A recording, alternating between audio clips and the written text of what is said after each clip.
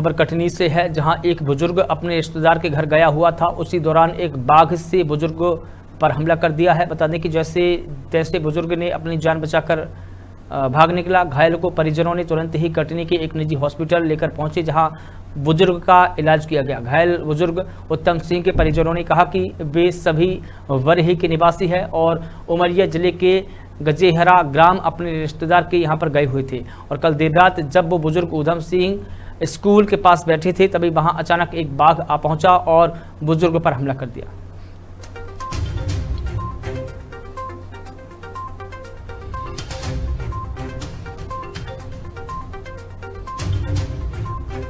घटना ये हुई थी कि उत्तम सिंह जो ग्राम करचुलिया के रहने वाले हैं, वो अपने रिश्तेदारी में एक सुखदास के बगल में गाँव है, गजहरा, वहाँ गए हुए थे।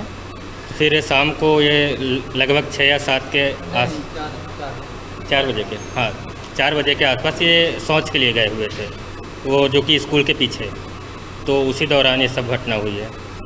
कौन क्या किसने हमला कर दिया? हाँ हाँ एक्चुअली ये शौच के लिए गए हुए थे तो वहीं आसपास कहीं रहा होगा बाघ रहा होगा तो उसके द्वारा घटना मतलब? पंजे वो इधर मारा इस साइड का पूरा मतलब नखून गड़ा के पूरा जबड़ा वगैरह सब कुछ टूट गया है। बचे कैसे बचे हैं कि वो वो अपने अंदर खुद हिम्मत करके कि वहाँ से भागते हुए आए फिर कुछ दूर एक दो व्यक्ति मिले गाँव के फिर गिर गए। फिर ऐसे करके उन्होंने अपनी जान बचाई।